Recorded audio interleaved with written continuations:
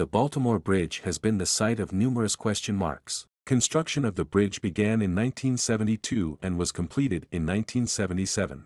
In 1980, a section of the bridge collapsed due to a collision with a cargo ship. The bridge faced significant controversy during its construction due to budget, design and safety measures. However, the bridge has been the setting for various scenes in movies and TV shows,